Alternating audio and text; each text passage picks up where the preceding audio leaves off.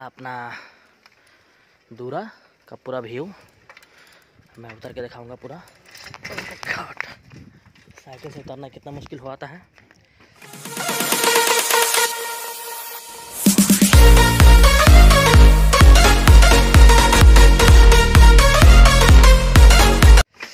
देखिए गाइस ये लगा हुआ है अपना ट्रैक्टर और ये अपना कोचिंग है। ये मैंने दोनों पेड़ लगाया था तीन चार साल पहले। अभी अच्छा रिज़ल्ट दे रहा है।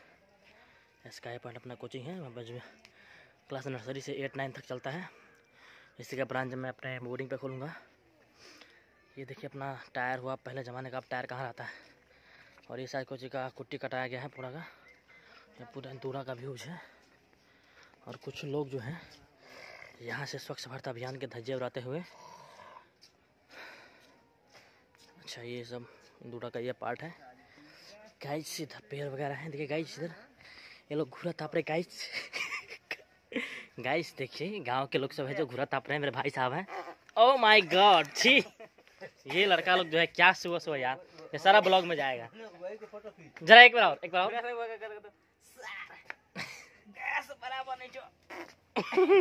अच्छा लगा मुँह से किया है। सही में आपको पीछे से किया गया ना ना ओ मुँह से किया है तो प्रैंक था यार। देखिए गाइस ये घुरा आपने ठंडी लग रही है। और ये लड़का देखिए आज विशेष करके क्या बनाया है देखिए। ये अति फाड़ रहे हैं फाड़ रहे हैं। ये क्या है गाइस हेलो क्या है? देखिए ना। बिछन ये जर्मिनेटेड है सीड्स ये देखिए गाइस ये सीड्स जो है जर्मिनेट कर गया है। बहुत ही बढ़िया। अच्छा बोलिए। मारे हैं इसको। इसका क्या प्रोसेस होता है जी? बता देंगे सब कोई बात ये पहले यही क्या तो पहले ये क्या चीज़ का सीड्स है ये? घिउरा। ये घिवड़ा जो घिवड़ा और लौकी का जो होता है घिवड़ा को अंग्रेज़ी में क्या बोलते हैं जी? घिवरा को घिवरा खाएँगे बोलते हैं। देखिए गाइस और ये हमारे जो कॉमेडी चाचा जो हैं गाँव के सबसे बड़े ईमानदार आदमी और सबसे सच्चा आदमी। मिस्टर नटवर लाल है। मिस्टर नटवर लाल है अच्छा। इनका जो है कबीरा का मानने वाला आदमी है। ओ कबीरा पंथ है ये। हाँ, ये देखिए गाइस इसमें भी सीड्स जो है फूल रहा है। फूल रहे फूलने के लिए दिया गया है। मतलब ये सीड्स जो अभी मौसम जो है सब्ज़ी का जो है बागानी सब्ज़ी एक तरह से बोल लीजिए जो छप्पर पे लटका के सब्ज़ी को उगाते हैं।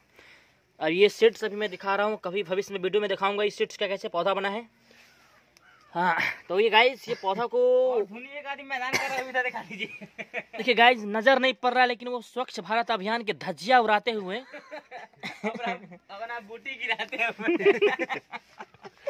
आप लोग बहुत ही बात सब अभद्र बात भाषा मत बोलिए ब्लॉग में आ रहा है सब। देखिए गाइस ये सीड्स जो है ये मतलब आप जब बताएँ कैसे कैसे क्या करते हैं? पानी में मतलब इसे हांडी में जो है रखते हैं। उसके बाद फूलने के बाद चौबीस घंटे बाद ये भाड़ते हैं। भाड़ यू मीन भाड़ने मतलब क्या हुआ? मारना सबको आता भी नहीं है सबसे बड़ी बच्चन जो ना। देखो हाँ, सर यही तो।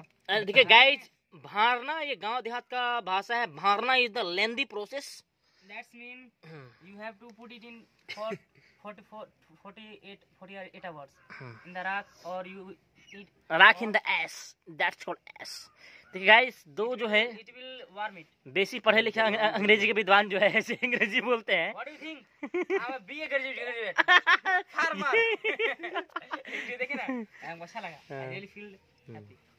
क्या?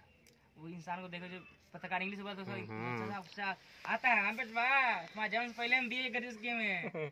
तो गाइस इस सीड्स को जो है वो 24 घंटे के लिए पानी में डालकर फुलाते हैं उसके बाद फिर इसे ये घिउड़ा का ही पत्ता है शायद। इस पत्ता में इसको अंडी का पत्ता है। अंडी दैट्स कॉल्ड अंडी एक पौधा होता है इसका तेल निकलता है उसके पौधे में इसको डाल के ये गाइस देखिए कोढ़िया जो है जो आज आ चुका है ये फैमिली में सबसे कोढ़िया मेंबर है। इसको सिर्फ़ बाइक दे दो तो ये जहन्नुम में चला जाएगा लेकिन काम के लिए। देखिए गाइस इनको जो है भैंस निकालना था घर से। ये नहीं निकाला और ये देखिए वो वो भी स्वच्छ भारत अभियान का ध्वजा बनाने के लिए चला गया। हमको भी घास क्या हो रहा भैया। भैया का कंटेंट भैया रोज क्या बोलते हैं? कंसिस्टेंसी सेव टूटी तो फिर अपने मुद्दे पे आते हुए तो फिर इसके बाद इसको इसमें डालकर और अब इसको मोड़ कर राख में डाला आता है है ना? दो दो दिन के लिए। दो दिन के लिए राख में डालते हैं उसके बाद ये जर्मिनेट हुआ था चार दिन के लिए। चार दिन के लिए फिर उसके बाद ये जर्मिनेट होकर ये सीड्स निकलता है फिर उसको क्या आता है? टोभा आता है ना रोपा जाता है ना जी? उसके बाद ये पौधा निकलता है तो फ़सल आता है। फिर मैं आपको आगे का दिखाता हूँ। देखिए गाइस इसमें जो है ओ माय गॉड बाबा साहब नहीं है। ये जो भैंस है अपना दूरा पे और वो भैंस का वो बैल है उधर और ये लड़का जो बोले ना कोढ़िया लड़का उसका काम है निकालने का लेकिन अभी निकाला नहीं है। ओ भैंस भी गुस्सा कर रही है। नाराज़ हो रही है। अरे मैं आपका एमएमएस नहीं बना रहा हूँ जी। ओ माई गॉड पीछे चीटी ओ ओ। ये चीटी है गिराने वाला। ओ माय गॉड दिन में ये? हम्म। भैंस के रहते तो देखिए गाइस अभी चूँकि ठंड ज़्यादा है इसकी वजह से वो भैंस का जगह है वहाँ पे जो है भैंस निकल आता है। देखिए ये डंग है भैंस का इसका जो है देखिए डंग से जो बनता है वेस्ट से ये वो जरना बनता है जिससे खाना वाना पकता है इस पर और वहाँ पे देखिए गाइस वो बच्चे लोग जो है बैठा हुआ है यहीं पे निकलता है भैंस का जगह है ये। लेकिन अभी ठंड होने के कारण ये यहाँ पे नहीं निकाला गया है। और वहाँ पे जो है बैल का जगह गाइस और उनके लिए चारा का, देखिए, ये पुआल का पेड़ का जो है मतलब कटाई किया गया है, कुट्टी बनाया गया। यहाँ पे जो गाइस वहाँ पर भैंस भी डला आता है और भैंस का बच्चा। और यहाँ पे ये नादी है, इसमें जो है चारा दिया जाता है बैल को। तो बैल और भैंस अभी अंदर चूँकि ठंडी बहुत ज़्यादा है। देखिए गाइस ये पूरा अपना रहे हैं दूड़ा का, खलिहान का लोकेशन रहा। और वो लड़का आज, चूँकि ठंडी है तो आज नहीं निकल पाया। फिर मैं दिखाता हूँ, कभी कोई काम होता है दौरे पर तो मैं आपको दिखाता हूँ। आज के लिए इतना ही।